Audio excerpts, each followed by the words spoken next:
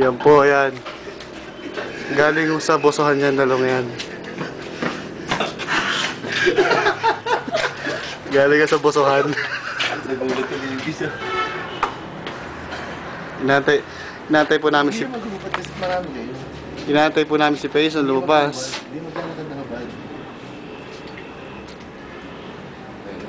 Para lumabas si Pace. Kapangalan mo na